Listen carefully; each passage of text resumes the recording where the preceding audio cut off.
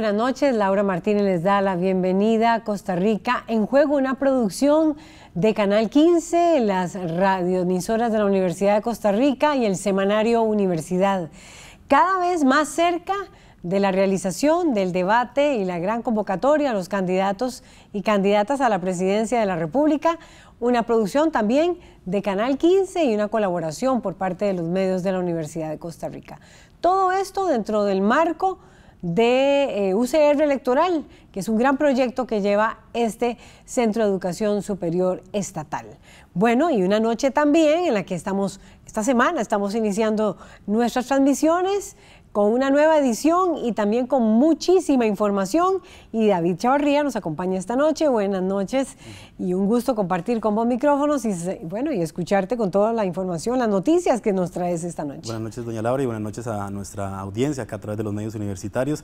Y como sí, pues empezamos como siempre con muchísima información. Eh, de, hoy, 6 de enero, estamos a un mes exacto de la realización. Día de Reyes Magos. Y Día de Reyes Magos y un mes exacto de la realización de los comicios electorales. Así que pues estamos ya un mes, estamos en el cierre, estamos en, en, la última recta ya de los comicios y como siempre pues empezamos este programa con información. Y en este caso pues traemos una noticia de la compañera Lucía Molina del Semanario Universidad que plantea pues la apertura de una investigación por parte del Tribunal Supremo de Elecciones, una investigación preliminar, eso sí ha, informado el Departamento de Financiamiento de Partidos Políticos eh, en contra del diputado de Liberación Nacional y secretario general del Partido de Liberación Nacional, Gustavo Viales, y también de Carlos Viales, quien es alcalde del Cantón de Corredores y es papá del diputado. Esto por una posible pues, eh, mecanismo, digamos, de financiamiento irregular, que se detectó, que se estaría investigando más bien durante las campañas municipales en las que participaron y también la campaña pues, presidencial anterior. El Ministerio Público además ha informado de que también se, abre una investigación en la Fiscalía o que la Fiscalía General también tiene una, una investigación en contra del diputado Viales por el el presunto delito de recepción de contribuciones ilegales. Este caso, pues recordemos los que nos traslada a abril del año 2021, en el que el OIJ realizó unos allanamientos en diferentes puntos del cantón de Corredores y así en otros puntos del país, y en el cual terminó con la detención del alcalde de este cantón, don pues Carlos. Esto más recientemente. Don Carlos Viales, y justamente. Está suspendido. Don y que desde diciembre del año pasado ya pues fue suspendido, digamos, de sus actividades dentro del municipio, por, se le investiga por el delito de peculado ante la construcción de, una, de un puente, de un, camino en pues, una, propiedad, privada. que estaría vinculada a una persona que también se investiga por presunto narcotráfico, Darwin González, quien se investiga. Y, Líder eh, de una banda internacional de tráfico de drogas. Y que se pues, investiga... De legitimación de capitales. Exactamente. Justamente también se investigan otras figuras de la Municipalidad de Corredores, como al presidente, del Consejo Municipal, Bernabé Chavarría, quien pues eh, después de una reunión que tuvo el diputado Gustavo Viales con este, con este pues, autoridad municipal en ese momento, el diputado Viales tuvo que renunciar a, su cargo temporalmente de, secretario general del Partido de Liberación Nacional, que pues regresó en agosto del año anterior, después de una pues, suspensión de unos meses. Tuvo que renunciar a la presidencia de la Comisión de, de Seguridad y Narcotráfico en la Asamblea Legislativa y pues por ahora también ha renunciado a su inmunidad parlamentaria para afrontar pues los procesos que se investigan. En este caso, como decimos, pues el Tribunal Supremo de Elecciones inicia o anuncia esta apertura de una investigación, eso sí, preliminar en contra de esas dos figuras, eh, digamos, pues en este caso una municipal y una figura, eh, pues digamos, de la Asamblea Legislativa, que también dentro del Consejo Municipal de, Corredores ya hay voces que venían alertando de un supuesto manejo, ¿verdad?, irregular de finanzas y, y también de mucha opacidad en la transparencia, no, no había tanta información de lo que estaba o fiscalización de los recursos públicos de este municipio. Igual, en días recientes, Canal 7 ha revelado pues algunas conversaciones que sostenía el con el maestro de obras de Corredores con el maestro, maestro de obras de la zona, presionando un poco para el avance de esta obra que como decimos también se investiga. Así que eso es un poco pues el panorama con el que inicia esta investigación, que también en la, Asamblea Legislativa hubo una comisión que investigó específicamente y que no concluyó pues gran cosa. Absolutamente nada. Pues ahora se está planteando otra vez la reapertura incluso de esta comisión que pues como decimos concluyó sin mayor cosa. Esto pues un poco la, información que traíamos con, con, este tema. Sí, sí, y además, este, bueno, dos cosas interesantes que se podrían acotar ahí eh, a propósito de este tema.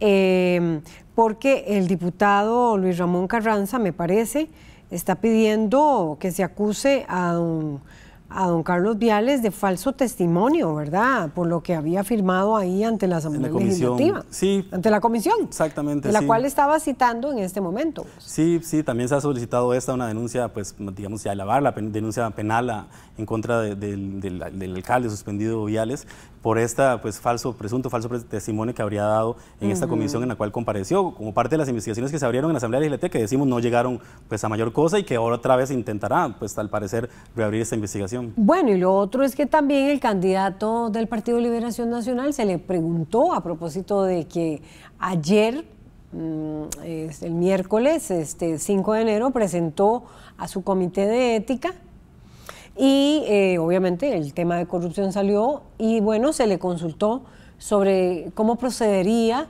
y si está participando eh, Gustavo Viales en la campaña, porque como bien decías, es el secretario general del Partido de Liberación Nacional. Sí, ya, ya, José Bueno, él dijo que no está participando en la campaña. Eh, y también, este, bueno, don Carlos Viales finalmente es un alcalde que tiene muchísimo reconocimiento allá en su la zona de corredores y por si estaría moviendo también figuras, eh, personas y votos a favor del Partido de Liberación Nacional. Sí, ya el candidato de Se Liberación desmarcó y había dicho que cualquier persona vinculada a este tipo de investigaciones debía desligarse, sin embargo no ha detallado, se ha desmarcado, pero no ha detallado si pues, mantiene alguna actividad específicamente, principalmente el diputado Viales, que como dice usted, doña Laura, pues es el secretario general del Partido de Liberación Nacional. Así es.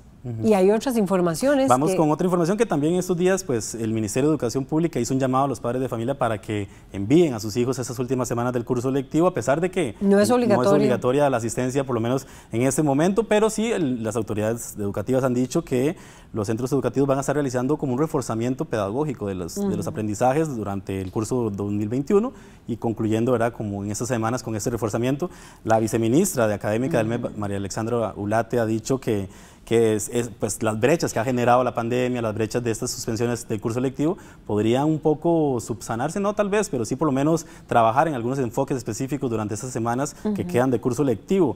Y también se indicó, la, pues la viceministra también indicó que se mantendrá la apertura de los comedores y del transporte escolar durante estas semanas, a pesar de que ya la... Importantísimo. sí, por supuesto, pero como decimos, ya la asistencia no es obligatoria, pero se van a mantener esos servicios habilitados. Por su parte, el ministro de Educación, Steven González, ha dicho que que si bien la asistencia ha sido baja en esos primeros dos días, los datos dicen que no ha habido mucha asistencia, el comportamiento normal al mes de diciembre, digamos, equitativamente al mes de diciembre, en el que ya después de, pues generalmente se entregan las notas, ya los estudiantes dejan de asistir, en este caso se, trasladó a enero ese final de curso lectivo, recordemos que porque una suspensión el año mm. pasado a mitad de, año por la pandemia y se retomó entonces o se propuso retomar la finalización del curso lectivo ahorita en este mes de enero. Curioso, porque cuando se anunció que el Ministerio de Educación convocaba un 100% de, presencialidad. Eh, se esperaba la conferencia de prensa de salud, eso fue el martes, y ese día fue cuando se dio a conocer aquella información, David Chavarría, de la cantidad enorme de casos de contagio de COVID por eh, lo que se ha llamado esta cuarta ola. Pero además, ayer llegamos a 2.500 y hoy llegamos a cerca de los 3.000 casos. 2.900. 2.900 y un poquito más. Casi ya estamos rondando la cifra récord de casos, de contagio de casos en, dada en mayo del año pasado, lo cual deja un enorme interrogante porque este, los niños todavía no han sido vacunados, pero Vale la pena indicar que acaba de anunciarse ya la vacunación, que inicia la vacunación de, en menores de 5 eh, a, 11 años, a partir del martes, me parece. Sí, en esa información incluso también llama la atención, en esa información que consignó el Semanario de Universidad de la compañera Monserrat Cordero, que el Ministerio había anunciado incluso que se iban a anular la, el distanciamiento y la utilización de mascarillas. Entonces, pues obviamente con los datos nuevos que tiene la variable Omicron, la variante Omicron de la pandemia, pues hay que ver si se replantea esos objetivos, esas propuestas que ha hecho el Ministerio de Educación, porque sí, ha venido en aumento el número de casos, y bien el número de, hospitalizaciones y de fallecimientos todavía se mantiene relativamente baja, digamos, estable, evidentemente sí ya se ve un repunte en el número de contagios nuevos por día. Sí. Ya vamos a llegar al momento pico. Exactamente. El curso lectivo, eso sí, según han dicho también las autoridades, no va a iniciar en los cursos, en los centros educativos donde no haya agua o, donde exista alguna orden sanitaria del Ministerio de salud que impida, pues evidentemente, el reinicio del curso lectivo, que pues eh, esto afecta al 1% más o menos según los datos del Ministerio de Educación. Así que veremos cómo se hace el reinicio de curso lectivo con una convocatoria por lo menos hasta ahora del 100% de presencialidad por parte de las autoridades de educación. El 100% y veremos cómo, cómo transcurre esa vacunación. Hasta ahora hay una vacunación importante en adolescentes, ¿verdad? En casi que del 80, superior al, al 80%. Eh, faltan todos los eh, menores de 11 años. Recordemos que en este país hay cerca de 5.000 centros educativos, estamos hablando de primaria, y cerca de 500 centros educativos en secundaria. O sea, el grueso de la población estudiantil está en primaria.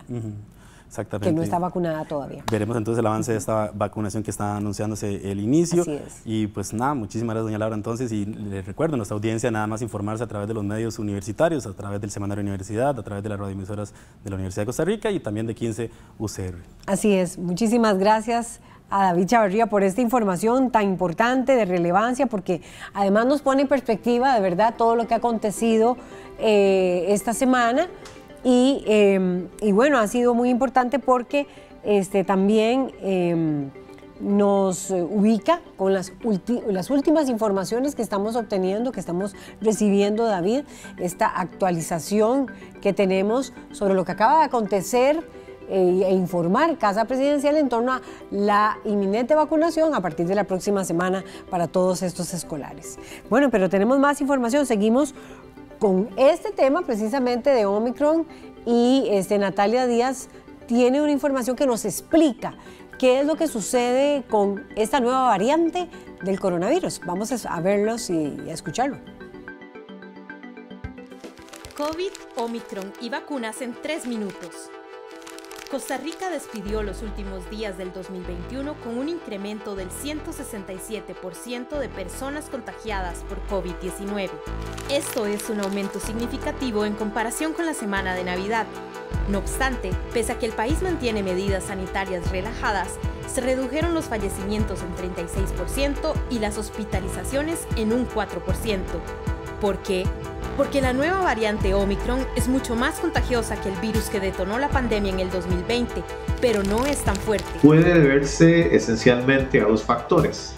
Uno, a la ruptura de burbujas producto de las fiestas que anteceden precisamente a la Navidad y a todo el barullo que significa el comercio y cosas relacionadas y al ingreso y distribución de la variante Omicron. La vacunación ha sido la apuesta más segura de reducir los contagios, además de mantener el uso de mascarillas. En el caso de la variante Omicron, la capacidad de infectar incluso personas que tienen las dos vacunas pues sí bajó considerablemente con respecto a la Delta. Omicron está en la mira de las autoridades mundiales desde noviembre pasado ha transcurrido muy poco tiempo desde que la nueva variante del coronavirus generó alertas por una ola de contagios en el país de Sudáfrica. La propia aparición de Omicron es otro recordatorio de que, aunque muchos de nosotros podamos pensar que hemos acabado con el COVID-19, este no ha acabado con nosotros. Como ocurrió con la mutación Delta, los síntomas son diferentes para las personas infectadas por Omicron. Aunque se sabe poco sobre sus efectos y tasa de letalidad, respecto a la primera variante del 2020, hay menos casos graves hasta ahora. Los síntomas más clásicos de la COVID que ya hemos aprendido a reconocer son tos, fiebre y pérdida del olfato o gusto. Y sabemos también que uno de los métodos más efectivos para controlar la propagación del virus es aislar a las personas con síntomas. El problema es que si los síntomas cambian y no los reconocemos como COVID, las personas infectadas siguen sus vidas de manera normal, esparciendo el virus por donde vayan. Para mitigar el virus, Costa Rica inició vacunando una tercera dosis contra el COVID en diciembre, para quienes cumplieron seis meses de que recibieron la segunda. La Caja Costarricense del Seguro Social afirma que 3,5 millones de personas tienen la segunda vacuna. Esto quiere decir que dos terceras partes del país están listas para recibir la tercera dosis en el primer semestre del 2022. Aunque la vacunación es relativamente homogénea, los lugares más rezagados pertenecen a las zonas más pobres del país, como la zona sur o región Brunca, y el Caribe o región Huetar Atlántica. Frente al rápido avance de Omicron y sin otras medidas del gobierno, la educación pública, el comercio, turismo y la vida en general continúan con pocas restricciones. La vacunación voluntaria es la única barrera que separa el aumento de los contagios de una nueva crisis sanitaria. Estábamos escuchando una información muy interesante, este explicativo de Natalia Díaz sobre Omicron, eh, bueno, y todo lo que tiene que ver con las distintas variantes eh, que está atendiendo precisamente una institución fundamental en el desarrollo de nuestro país, que es la Caja Costarricense de Seguro Social. Eh, y precisamente sobre este tema, y la reforma que tiene que ver con las pensiones que recientemente se hizo y que ha generado también controversia y posibilidades de otras propuestas, es sobre lo que queremos hablar esta noche con dos aspirantes a la presidencia de la República. Nos acompaña Oscar López del Partido Accesibilidad Sin Exclusión y también Roland Jiménez del Partido Socialdemócrata Costarricense. A ambos buenas noches, bienvenidos. Gracias por estar en el espacio de Costa Rica en Juego. Y bueno, que está en juego también con el tema de la caja y que está en juego también con la reforma a las pensiones. Ya no hay pensión adelantada para las mujeres, también hay cambios, una meta de 65 años para los hombres, hay un porcentaje menor que se va a recibir en el monto de la pensión. ¿Están ustedes de acuerdo con estos cambios que se realizaron, don Roland, don Oscar? ¿Qué les parecen? Es sobre esta, es esta la ruta que debe continuar eh, las reformas al régimen de pensiones de invalidez, vejez y muerte en nuestro país, sí o no. De ustedes es la palabra, tal vez no sé con quién quiere iniciar, don Oscar o don Roland, les escuchamos. Sí, bueno. Este, buenas noches, adelante, buenas Roland. Noches, este, muchas gracias por invitarnos acá a su programa. Realmente es un tema bastante controversial, muy eh, interesante y muy importante también por las consecuencias que, que esto conlleva. El régimen de pensiones de la Caja Costarricense del Seguro Social hay que recordar que desde su nacimiento nace básicamente planteado para un retiro a los 65 años de edad y es posteriormente que a aspectos políticos hace que descienda eh, la edad de retiro. Eso primero que nada. La salud del mismo se ha venido deteriorando con el paso del tiempo sin embargo, creo que los cambios que se están dando en este momento son bastante drásticos y yo diría que un poco innecesarios de alguna manera. ¿Por qué razón?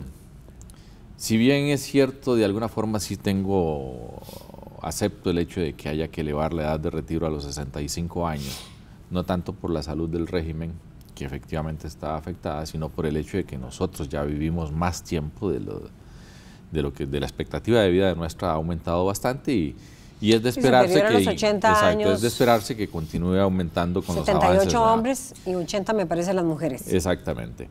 Eh, casi los, los, 82 inclusive eh, llegamos en un momento dado. Entonces, pues esto hace que sí sea requerimiento, pues un aumento en, en la edad de retiro. Lo que viene siendo la reducción en el porcentaje que se da eso sí me parece que es bastante grosero y me parece bastante imprudente e innecesario, como le decía. ¿Por qué?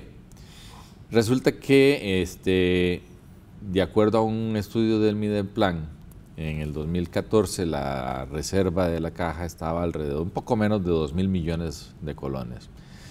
Pero en el 2020, 2021, la Procuraduría hace un anuncio en donde se queja precisamente de que el Ministerio de Hacienda no quiere reconocer una deuda que tiene el Estado con la Caja Costarricense del Seguro Social que ronda alrededor de 2.500 millones de colones, de los cuales aproximadamente unos 500 millones de colones pertenecen al régimen de invalidez, vejez y muerte. Entonces aquí es donde uno pregunta, ¿tenemos un problema de pensiones o tenemos un problema de deuda? Primero que nada. Entonces debió haberse eh, em, pagado la deuda por parte del Estado antes de hacer este tipo de reformas. ¿Es eso lo que usted está diciendo, es lo que Yo digo, primero hay que honrar. Este, Pero ya las reformas entraron en vigencia. ¿Usted qué haría un eventual gobierno suyo? Bueno, lo primero que nada es reconocer ese, esa deuda y buscar la manera de saldar. ¿Cambiaría en las edades? ¿Cambiaría esta como reforma? Le, como le digo, la edad, yo estoy de acuerdo con la edad. Mm, por los otros factores, ¿verdad? Pero con la, disminución en el monto de, pensión, del tope de pensión, definitivamente. Bien, quiero pasar con don, con don Oscar eh, López del Partido de Accesibilidad Sin Exclusión. Eh, ¿Usted está de acuerdo con estas reformas? Buenas noches. No, yo, doña Laura, coincido en mucho en lo que dice el doctor Roland y le agrego, por supuesto, la visión del pase en términos de que la reforma a la ley 10.078 de Jupema nos da un muy buen camino. Hoy, gracias a esta nueva ley, la 10.078, se le permite a la Junta de Pensiones del Magisterio, a Jupema, invertir hasta un 20% de su cartera del Fondo de Pensiones de Jupema en concesión de obra pública. Pero eso es Jupema, Magisterio Nacional. Correcto. ¿Y por qué no, hacer lo mismo con, las, con la Fondo de Pensiones de la Caja del Seguro? donde podamos agarrar plata de la Caja del Seguro para hacer un aeropuerto en Costa Rica. Usted dice obra pública en este momento. Claro, rentable, una, hidroeléctrica. Carreteras. Carreteras, un, un, dique gigantesco en caldera que hace falta para que vengan barcos de gran calado y que eso dejaría millones, o un canal seco, todo con plata de los fondos de pensiones. No habría cómo puedan quebrar, porque ahí está el dinero a nivel tarifario, a nivel de, de peajes esa sería la forma de revivir los fondos de pensiones. Cuando nosotros en el pase hablamos de meterle 10 colones a la cerveza para que no quiebre el régimen de no contributivo de la caja, no estábamos vacilando. La gente lo tomó en vacilón esto. Pero es que en este país se ve guaro por cualquier cosa. Si nace un chiquito, lo celebramos con guaro. Y si se muere una persona, lo lloramos con guaro. Si se casa una muchacha, la celebramos con guaro. Y cuando la muchacha se nos divorcia, Deila, la apoyamos tomando guaro. Don Oscar, ¿pero usted está de acuerdo entonces con las reformas que se hicieron, con el aumento de la edad? No, no estoy de acuerdo. No estoy de acuerdo. ¿Usted las eh, echaría marcha atrás en todo esto? No necesariamente las echaría atrás. ¿Qué haría? Eh, ¿Haría cambios eh, por parte de los representantes del Estado en la junta, ante la Junta Directiva? Ah, no. A sus directivos de la Caja del Seguro tienen los días contados. Esos son los que tienen dañada la Caja del Seguro, los nueve directivos. ¿Qué haría usted para hablar en el tema de la sostenibilidad del régimen? Y quisiera compartir unos datos a propósito de lo que usted decía, don Roland, porque, por ejemplo, el Semanario Universidad, en una información de Fabiola Pomareda, reveló según em, datos también que cotejó con Rodrigo Arias, que es actuario, ustedes lo han visto, él es profesor, ha sido profesor de la Universidad de Costa Rica, un 64% de las 301 mil personas jubiladas reciben un monto mensual de 200 mil colones en nuestro país. Y con esta reforma van a recibir un 5% menos de, esa, de ese monto, de un 5 a un 7% menos. ¿Están ustedes de acuerdo? O sea, ¿cuál, es la visión de ustedes ante esta realidad? 64% reciben un, una pensión de 200 mil colones en Costa Rica. Empiezo con decirle, perdón, hay un millón de trabajadores independientes en Costa Rica que están fuera de la caja del Seguro Social. Porque la caja es el enemigo del trabajador independiente. Yo soy trabajador independiente, yo soy abogado y yo le pago a la caja un montón de plata como si todos los días tuviera clientes. Y no tengo clientes todos los días. ¿Usted condonaría las deudas de los... Desde eh, luego. Lo que, lo que propuso el diputado eh, social cristiano sí, pero algo Pedro bien, Muñoz. Algo bien hecho, no la ocurrencia que sacó Pedro Muñoz, que se le cayó de camino porque no sirvió. Bueno, la sala constitucional lo consideró... Eh, inconstitucional, valga, la, redundancia, porque ¿verdad? Pedro, porque Pedrito, encontró esas observaciones en ese no sentido. Lo supo hacer. Bueno, por eso, pero no, podrían condonar ese tipo de deudas. Sí se puede, sí se puede, pero es que el problema va más allá. El problema va en el nombramiento de los directivos. Es que si usted, el presidente nombra tres directivos, los sindicatos y los sectores sociales nombran tres directivos y el sector empresarial nombra tres directivos, ¿qué le cuesta a un presidente con pantalones y con liderazgo que no tenemos en Costa Rica hoy por hoy? No tenemos un presidente así. ¿Qué le cuesta a un presidente con liderazgo, como vamos a tener cuando me hagan a mi presidente, llamar a las cámaras, a la UCAEP y decirle, señores, necesitamos directivos comprometidos con esta visión de país? No me pongan ahí gente que venga a hacer desastres en la Junta Directiva. pero no tenemos eso. ¿Qué harían ustedes en concreto para sostener el régimen de pensiones? ¿Usted está en desacuerdo, don Oscar, con el tema del incremento de la edad? ¿Usted está de acuerdo con el tema del incremento de la edad? Eh, esto apenas aguanta para de aquí al 2000, es un parchecito. ¿Es eso lo que había que hacer? ¿O era otro tipo de cambios los que había que hacer desde el punto de vista de inversiones? Diferentes cambios, definitivamente. Don Oscar ha, tomado, ha tocado un punto crucial en este sentido y es precisamente los trabajadores independientes. Y muchos de ellos incluso realmente no cotizan, son independientes, pero no cotizan a la Caja Costarricense del Seguro Social. En un momento dado iniciaron su cotización. Les fue mal, no les, no les alcanzó por el asunto, se retiraron del trabajo que estaban haciendo, regresaron posteriormente nuevamente a hacer el intento, van a la caja de nuevo para cotizar y la caja les cobra todos los años que estuvieron hacia atrás sin pagar, en donde no trabajaron. Entonces tienen una deuda millonaria. En ese aspecto, este, o sea, usted condonaría también esas deudas. ¿Y usted cree que no necesita una ley, eso necesita simplemente una estructura desde la junta directiva donde no necesita condonar a todo el mundo sino condonar ¿A, quién aquellas personas condonaría usted, perdón? Sí, aquellas personas que efectivamente se ven en ese problema. ¿Qué es lo que tenemos nosotros con la ley que pretende pasarse de condonación general? Que, por ejemplo, en este momento uno de los partidos grandes tiene a un donante millonario que debe 2 mil millones más o menos a la caja, pero está invirtiendo más de 150 millones al partido y le van a condonar una deuda. O sea, si tiene dinero. Bueno, por eso, pero usted entonces, estaría avalando ese tipo de cosas si se, condona, si se condonan este, deudas. Por eso le digo que a ciertos individuos y a, ciertas, a, ciertos aspectos. En este caso, este es un individuo que tiene recursos económicos. Después, hay que traer a esta gente, hay que hacer una diferenciación. No podemos pretender que un independiente, un independiente pague su seguro y además pague el seguro como patrono que lo encarece extremadamente siendo él. Entonces, esa parte hay que corregirla. Si nosotros corregimos eso, aumentamos las personas mm. que van a cotizar y por lo tanto incrementamos el ingreso de la caja. Por el otro lado está este, un proyecto que es de don Walter Coto de hace mucho tiempo, que yo lo he venido eh, diciendo que estamos eh, por fomentarlo y sacarlo adelante, que es eh, la pensión consumo, que es de parte del impuesto de ventas un porcentaje se dirige a, eso voy. El problema del financiamiento, de la sostenibilidad del régimen de pensiones de invalidez, vejez y muerte, ¿tiene que ver con este asunto de condonaciones o tiene que ver con algo más de fondo? Quisiera escuchar por, parte de ustedes propuestas, porque sinceramente, este, es decir, lo que, lo, que se ha cuestionado hasta ahora es, son los mecanismos de financiamiento y de sostenibilidad. y voy a plantearles algo.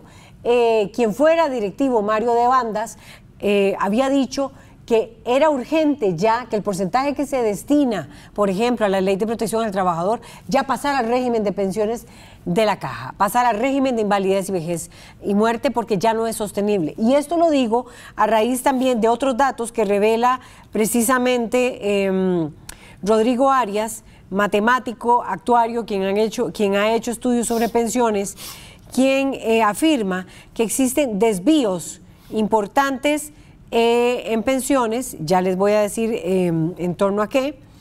Eh, por ejemplo, dice, el régimen ha sido usado como uno de reparto, que recibe y gasta, y no como uno de capitalización. Hay un faltante, dice este matemático, de 49 billones. Sí, Ajá.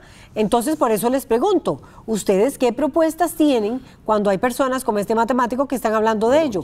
Y, y, habla del desvío del 7,5 sobre los salarios, cuotas del Seguro Social. No, no, Es, primero que me, detengo en Mario de Bandas, que Dios goce, ¿verdad? O sea, Mario de Bandas, mi respeto absoluto. Coincido plenamente con la visión que él tenía sobre estos temas. Pero le aclaro, nosotros hemos dicho claramente, esto va a quebrar, o lo intervenimos ya, o va a quebrar ¿Y, qué significa intervenir? Intervenir la forma nuestra, lo que yo le estoy diciendo, permitirle ya al régimen de pensiones de la caja invertir la plata que tienen ociosa o invertida en bonos del Tesoro de los Estados Unidos, invirtámosla en Costa Rica, en creación de obra pública.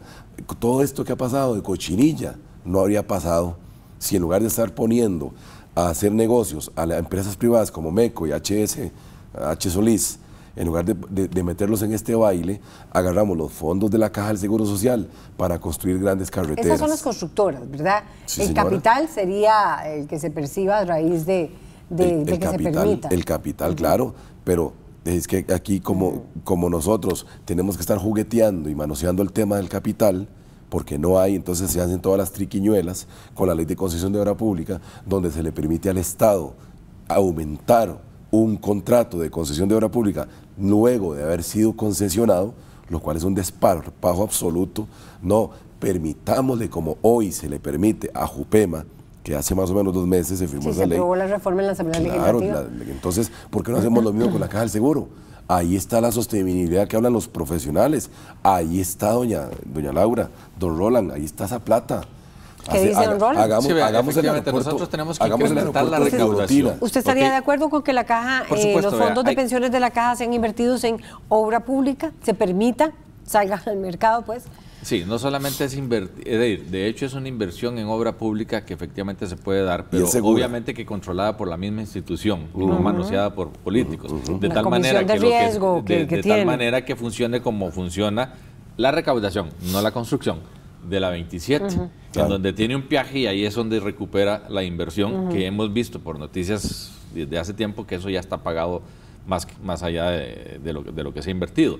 Hay que incrementar la recaudación también, no solamente el hecho de incrementar el producto de la inversión del dinero que se tiene, sino la captación. ¿Cómo se incrementa eso? Facilitando que aquellas personas que no forman parte del régimen puedan ingresar al régimen sin castigarlos mucho con- en, en el exceso de volvemos esto. a la condonación. Volvemos en parte a la condonación, pero en parte también el disminuir el- la carga que pagan de la seguridad social. Todavía Es no me queda claro cómo van a lograr ustedes eso cuando ya la sala dijo que es inconstitucional. ¿Qué cosa? que ¿Condonar? La deuda. no, es que la- lo no, que no, la no, sala está no. diciendo es en la parte No, no, leg- legalista. es que la señora periodista no quiere que nosotros salgamos bien de esta entrevista.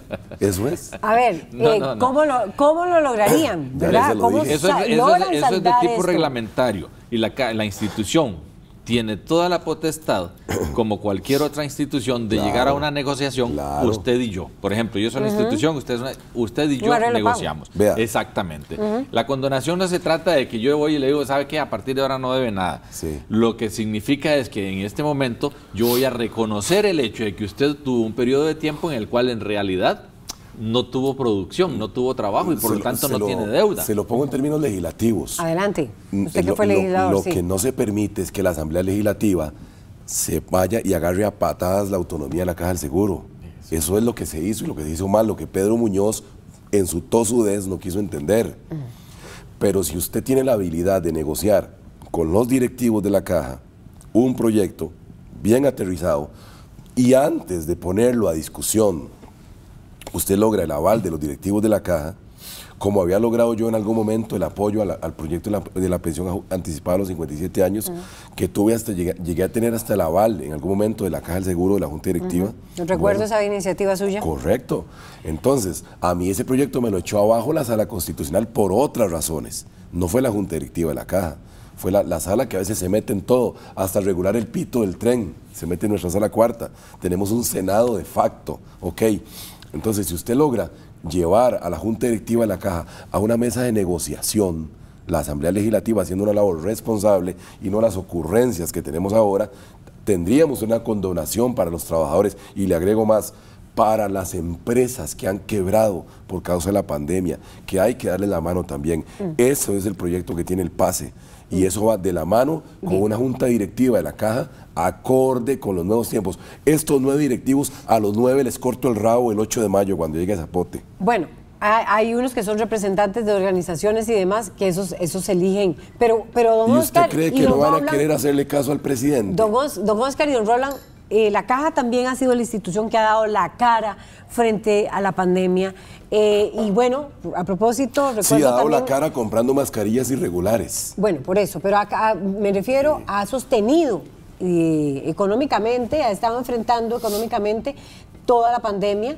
Eh, a- tiene que resolver el problema de listas de espera y eh, ha habido toda una gran discusión precisamente por la deuda de dos, de dos billones eh, que, que se tiene con ella y que se requiere y que no han habido acciones por parte de la Lo Asamblea dijo Legislativa. Roland, el principal delincuente en Costa Rica. No, eso, no- eso lo digo yo, eso no lo dijo él, pero él lo planteó muy bien. El principal delincuente se llama Estado, gobierno. Vamos a ver qué piensa la ciudadanía en el siguiente Vox Populi sobre cuál ha sido el papel de la caja y vamos a venir con ustedes de nuevo. ¿Cómo cree usted que ha sido la labor de la caja durante la pandemia y por qué? Eh, con los recursos que tienen, creo que eficiente. Pero siempre se puede hacer mejor cosas, pero tal vez el manejo de los recursos no es el adecuado para poder brindar el apoyo adecuado. En general bien porque han hecho todo el esfuerzo para la vacunación para que todos estemos vacunados. Entonces, creo que han hecho una buena labor. A veces vemos solo pequeños detalles malos y no vemos todo lo bueno. Para mí ha sido eh, un trabajo, digamos, ejemplar, digamos, con sus fallos, con sus falencias, sin embargo, este, sí se ha visto, digamos, un gran esfuerzo. Casi ya no hay, digamos, gente que se esté muriendo por el COVID y ellos han estado pendientes con eso, más con los chiquitos, han estado muy pendientes. Bueno, a mí en lo personal ha sido malo, ya que hace prácticamente dos meses también fui a una cita y la doctora lo que me dijo fue, estamos en pandemia y no me mandó absolutamente nada. Con ella también, con la bebé he tenido unos problemitas y en la caja no me la atendieron, tuve que pagar por fuera teniendo ella seguro. Entonces, para mí no, no está bien la caja ahorita. Lo que pasa es que esto se prestó para muchos chorizos. Y como buenos ticos somos tan choriceros y, y la caja no se escapa. ¿Sí? A mi criterio, ¿verdad? Aunque muchos digan cosas negativas, para mí ha sido un trabajo extraordinario. Ha sido un trabajo extraordinario porque, bueno, se puede ver que Costa Rica fue uno de los países donde pues más rápido hubo vacunación. O sea, tenemos una caja de seguro que realmente invierte para los ticos. Eh, para mí es una de las mejores instituciones que hay aquí en Costa Rica.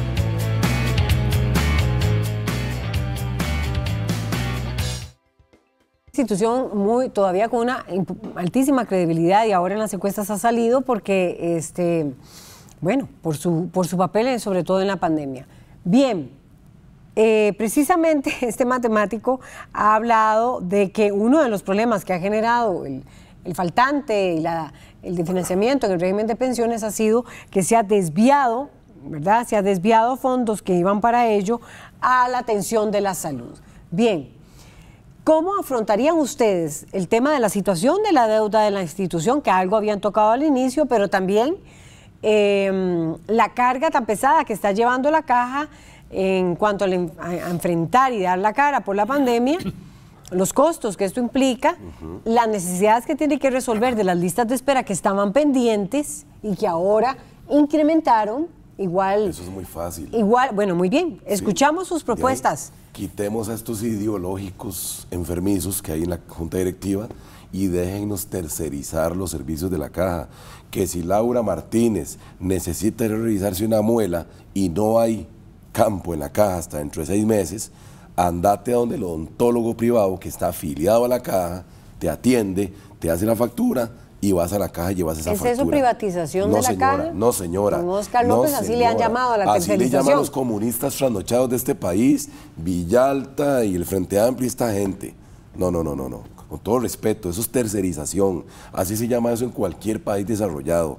Y eso permitirá que a Laura Martínez no la tengamos en una lista de espera esperando a que le revisen una situación de salud, porque igualmente su servicio en la caja no es gratis. Mentira la caja no es gratis, eso es una mentira que nos dicen siempre. La caja la pagamos todos con nuestros impuestos. O sea, pagamos, los trabajadores independientes pagamos un 18%. Ok, don Roland, ¿usted cree que el problema de atención de la caja se resolvería tercerizando servicios? No, definitivamente no, ahí no estoy de acuerdo con don Oscar. Efectivamente, vea, la caja ha dado la cara, siempre ha dado la cara en todas las situaciones. la pandemia actual no es la, la excepción es más bien la regla en el caso de la institución y precisamente es parte de lo que tiene en problemas de financiamiento. Efectivamente, muchos dineros se han desviado de la invalidez, vejez y muerte que, no, que debieron de haber llegado ahí y no llegaron, este, precisamente para eh, utilizarlos en la atención directa, en lo que viene siendo enfermedad y maternidad. Y con esto quiero eh, agregarle que es la parte de la desviación que tenemos en la institución. La institución cobra dos, eh, los seguros que es enfermedad, maternidad, invalidez, vejez y muerte por el otro lado. ¿Ok? ¿Qué significa esto? Quitando lo que es la parte de pensiones de un lado. Que usted para recibir la atención en la caja o tiene que estar embarazada o tiene que estar enferma. Cualquier otro de esos aspectos no lo cubriría, sin embargo lo cubre, cubre todo. Es más, cubre hasta lo del INS. Usted tiene un accidente, se le agotó la póliza, termina en la caja y lo atienden igualmente. Mm y sigue para ahí y se quedó inválido con algún problema permanente hasta que se muera lo atiende la caja de todas maneras, a pesar de que ese es un seguro que nunca pagó. Correcto. Este, la sala constitucional, por otro lado, condena a la caja a cosas que no tienen nada que ver con la caja. Ciertamente la salud está prioritaria y en eso estoy de acuerdo con la sala constitucional, pero a quien debe de condenar es al Estado, no a la caja, porque la caja debe de brindar un servicio de acuerdo al seguro que cobra. Ejemplo, por ejemplo, este, para poner un ejemplo, lo que es este, la, inseminación in vitro. Debió haber condenado al Estado, no a la caja, porque la caja no cobra por ese seguro. Entonces es el Estado. ¿Qué haga el Estado con eso es otro cuento. La situación de las filas es bastante sencillo eh, resolverlo. Este, ahora se han incrementado con el asunto de la pandemia, que tampoco estoy de acuerdo en la forma en que se ha manejado ese asunto de que porque estamos en pandemia no vamos a dar cita, no vamos a dar este consulta ni nada por el estilo. Nosotros en el servicio. ¿Cómo lo hubiera resuelto usted? Nosotros en el servicio de emergencias atendemos todos los días estamos de frente. Ahí es donde llegan precisamente los contagiados y ahí estamos de todas maneras. Entonces, en la consulta externa que está más coordinada, más porque es programada y usted puede decirle al paciente, usted venga a las 7, usted entra a las 7 y 15, usted a las 7 y media y no tienen por qué entrar todos juntos a la sala de espera, ni mucho menos al consultorio y estar protegidos, perfectamente se puede seguir de, esa manera que le estoy diciendo en este momento. Mm. Ir programando las citas que por sí están programadas y coordinando su ingreso porque de todos modos tenemos este, guardas en, las instituciones en la institución. Antes la pandemia pasaba lo mismo. No, bueno, hay, por eso digo que se agravó en este momento. Pasaba lo mismo, pero igualmente, ¿qué es el problema? Que la, que la caja ya no está, hay Hablamos de duplicidades de funciones en las instituciones, pero no nos damos cuenta que hay duplicidades dentro de la misma institución. ¿Cuáles son? Por ejemplo, Le voy a, no, no, no es en criterio, es real. Le voy a decir un caso que a mí me pasó en un momento dado. Dando consulta, me llega una paciente embarazada. Hey, doctor, por favor, este, necesito que me atienda rápido porque tengo cita en el hospital dentro de una hora. ¿Y de qué la van a ver? Del embarazo, el ginecólogo. ¿ah? ¿Y de dónde viene ahorita que viene corriendo también? Es que me acaba de ver el ginecólogo aquí en Santa Cruz. O sea, yo le vi el control prenatal. La acababa de ver el ginecólogo del área de salud para el control prenatal y salía de ahí para irse a ver el mismo día, una hora después, en el hospital del control prenatal con otro ginecólogo. O sea, tres consultas para la misma cosa, a la misma persona. Eso es no duplicidad, es triplicidad, es innecesario en ese aspecto. Esos son aspectos, por ejemplo, que no se, no se ven, mm. no se visualizan, pero existen, son aspectos que hay que corregir. Otra de las situaciones es agarrar al médico general, capacitarlo para que sea más resolutivo, de la misma manera que lo era. Atención primaria, se refiere usted. Exactamente. Reforzar los CEBAIS y que atienda eh, otro tipo de para que haga lo que hacía antes. Es que ese es el asunto. Antes quien resolvía Medicina todo Medicina familiar, atención primaria. Eso es lo que usted reforzaría, dice usted, para, para, reducir las listas de espera. ¿Qué hace con todas las especialidades, las operaciones? Ahí, vamos, ahí ¿verdad? vamos. Y toda la, fíjese que nosotros tenemos especialistas, en, cirugía, especialistas en cirugía general operando lipomas y cosas por el estilo, cuando eso lo puede hacer el médico general y el otro debería estar sacando vesículas. Eso es una de las mm. situaciones. Este, y yo tercerizar, no, porque para eso primero hay que regular las cosas. ¿Qué tiene de defecto la caja en este momento cuando hablamos de servicios a terceros? Ah. La caja saca a, decir, bueno, necesito... A licitación. Sí, a licitación. Necesito X cantidad de cirugías. ¿Quién me las hace? Y entonces sale una gente ahí, llena los, los paquetes y, y, el que le cobra más barato, etcétera, es el que le da. Yo lo haría al revés, porque así es como deben funcionar las cosas. Yo le diría, tengo 500 vesículas para operar, pago tanto, ¿quién le interesa? Yo pongo el precio. Yo no le pregunto cuánto me cobra. Yo le digo, pago tanto. ¿A quién le interesa? ¿Por qué razón? Porque le voy a dar el trabajo en el espacio muerto que Por tiene. Por eso, entonces usted también está de acuerdo con la tercerización de servicios. En parte sí, pero ah. hay que corregir ese otro aspecto. ¿Por qué? Porque si lo seguimos haciendo así, la caja va a pagar más de, lo que le cuesta hacerlo. Estamos de acuerdo, pero hagámoslo. hagámoslo. pero antes de eso, primero hay que preparar a los médicos dentro, porque si nosotros preparando al personal no necesitamos hacer eso. Él es un gran médico, no cabe duda. Preparando al personal no necesita tercerizar, ¿qué dice Oscar López? No, claro que sí, si no vas a tener que contratar 30 mil médicos, muchachos. No, no hace falta. Y 90 mil enfermeras, ¿de dónde plata? No, no hace falta. No, no, no, mejor hagamos ¿De dónde plata usted decía que eh, una de las eh, formas para que ingresaran recursos, bueno, para el régimen de pensiones, era, era a través de la, de, la, eh, de la posibilidad de que se pudiera captar en obra pública. Correcto, esa es una forma para los fondos de pensiones. Y 10 colones a la cerveza, también.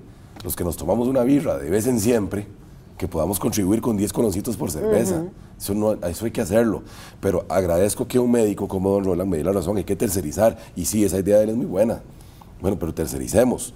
Como lo dije yo. Pero finalmente la caja tendría, que estar pagando esos servicios. Pero lo hace, lo hace. Sí, lo, hace. Lo hace. Pero en este ¿Cuánto paga la caja a los médicos? ¿Y, cuánto, ¿Y cuánta plata deja de pagar?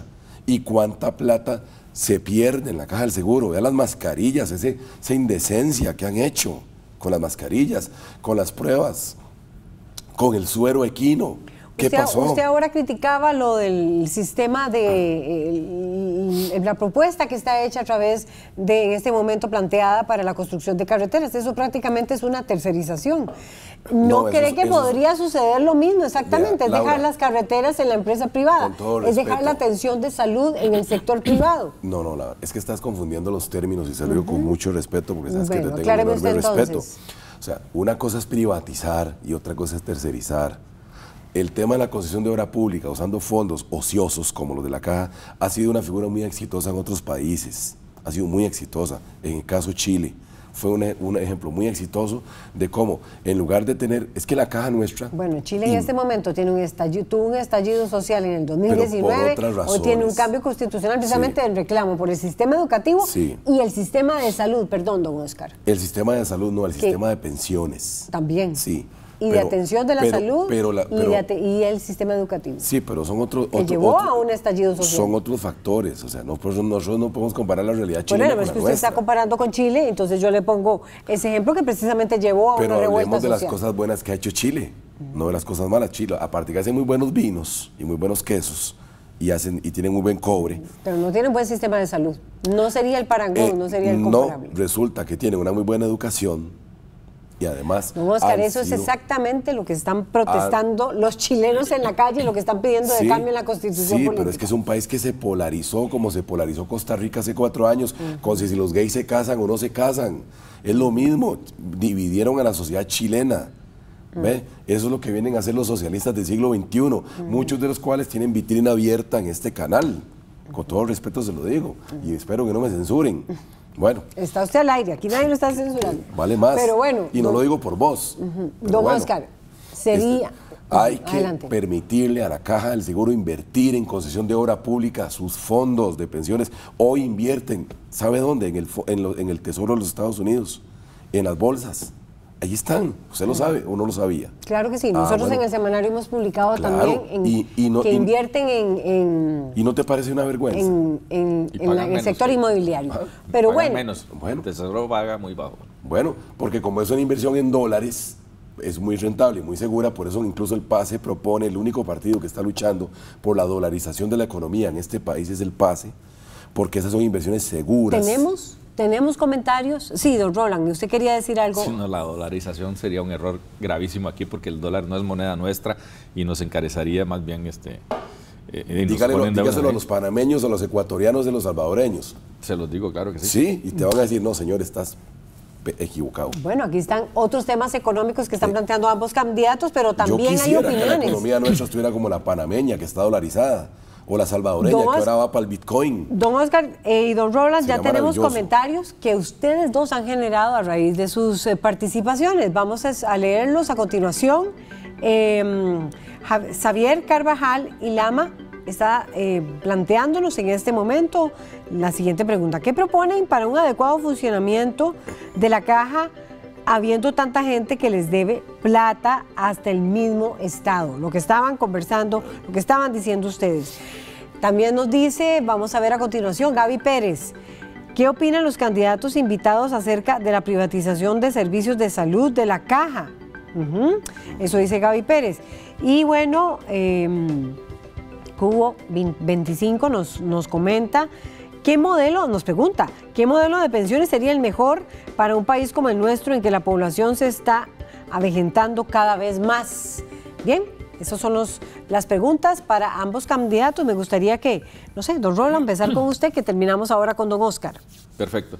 Bueno, en primer lugar, no para ir cerrando, no, estoy de acuerdo, no estoy de acuerdo definitivamente con la privatización, eso es definitivo. Creo que la caja tiene la capacidad de resolver y de solucionar eh, las listas de esperas y que eventualmente sí, sí podríamos, si de ser necesario, aunque no creo que, que, lleguemos a ese nivel, de terciarizar, como dice don Oscar, pero en la manera en que yo lo estoy diciendo, ¿verdad? Poniendo el precio nosotros como institución y no preguntándole a los otros cómo le va a cobrar. Eso primero que nada. Segundo, este, el mejor sistema de pensiones es el sistema de pensiones que nosotros tenemos, que en este momento está en condiciones eh, malas pero por razones, primero que nada, aspectos de deuda que hay que cobrarla al Estado, que es el que nunca paga la mayoría de las veces. Y si efectivamente hay sectores privados que tampoco pagan, pero... ¿Qué haría usted con ellos? Con los morosos. Los morosos, hay que analizar al moroso. Eso es una manera individual, porque no es lo mismo este, la razón por la que no paga Pedro que por la, razón que la que no paga Javier. Son dos cosas completamente diferentes y hay que tratarlos de manera diferente.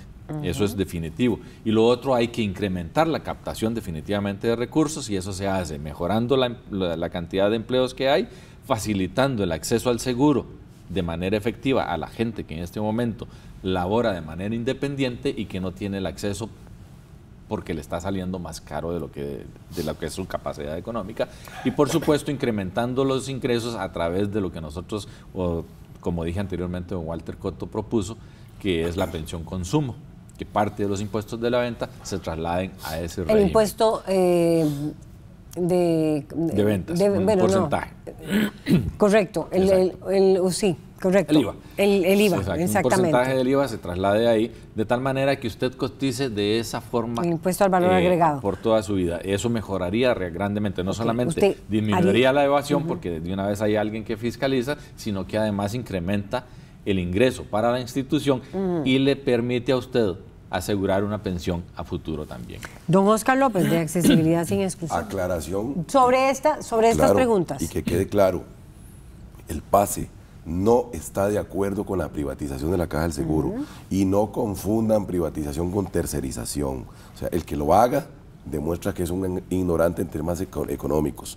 Una cosa es privatizar y otra cosa es tercerizar. Es más, hay gente que no quieren dar, hacerme caso con la tercerización en la caja. De, pero ya la caja terceriza servicios. Por ejemplo, las lavanderías de la caja, mucha de la ropa que se lava en la caja, ahora se terceriza. ¿Esa sería su propuesta para funcionamiento? Le pongo otro ejemplo, la vigilancia de la caja del seguro. Muchos de los guachis de la caja no son funcionarios de la caja, son agencias de seguridad. La limpieza en la caja, los misceláneos, el doctor lo sabe, son empresas privadas que van a dar limpieza a la caja. Entonces ya la caja está tercerizando. ¿Por qué tercerizan unas cosas y otras no? ¿Por qué la señora que tiene que verse una vesícula tiene que esperarse dos años? Pudiendo vérsela en una semana en una clínica privada, de por sí la caja tiene que pagar ese servicio. Don Oscar, para ir cerrando, ¿qué propondría usted? Eh, estaba, eh, fue lo que Javier, Xavier Carvajal preguntó. ¿Qué propone para un adecuado funcionamiento de la caja habiendo tanta gente que les debe de plata, dice, hasta el mismo Estado? a ver. Que la caja, que el, el Estado costarricense tiene que vender fanal y agarrar esa plata de fanal tenemos una fábrica de borrachos, de licores, vendamos fanal y le damos la plata a la caja del seguro y el Estado paga la deuda. Y sobraría plata, sobraría plata, por poner un ejemplo. O Nada más quería citarle que Fanal le vende un alcohol de muchísima calidad y muy barato a la caja de seguros. Y, que lo siga haciendo, se lo siga vendiendo. Ok, solo Fanal puede hacer alcohol barato en el mundo, en Costa Rica, con los plantas En manos privadas, ¿usted cree que lo va a vender igual de barato? ¿Y por qué no? Cuando, cuando entró la telefonía privada, aquí en este canal se acusó a la gente que iba a caer Satanás porque se van a meter teléfonos privados carísimos. Y fue una bendición para los costarricenses, teléfonos accesibles y, tarifas baratas. ¿Cuándo van a pedir disculpas acá en Canal 15 por haber dicho que la telefonía iba a encarecerse con el TLC? Y oiga, yo estaba con el no al TLC y tengo derecho moral para venir a exigir eso. Canal 15 debería ofrecerle una disculpa a la ciudadanía, porque desde aquí se decía que las privados iban a encarecer las tarifas. Lo mismo me están diciendo a mí con el alcohol ahora. No, no, no, ¿qué es ese cuento? Laura, ya hay que acabar con eso. Aquí hay empresas que compitiendo pueden dar mejores servicios de mayor calidad y además la caja pagando. Don Oscar López, muchísimas gracias por acompañarnos esta noche. Júreme que algún día me vuelven a invitar. Así es, del Partido de Accesibilidad. Aquí estamos invitando a todos los candidatos. Y está invitado además para el debate que estamos organizando aquí en Canal Medios de la Universidad de Costa Rica. Esperamos que estén con nosotros. No me bajen en la entrada. La verdad, están cordialmente invitados, así que más bien los esperamos. Muy bien. Igual a don Roland Jiménez, también del Partido Movimiento Socialdemócrata. Le agradecemos muchísimo, costarricense, eh, por acompañarnos esta noche.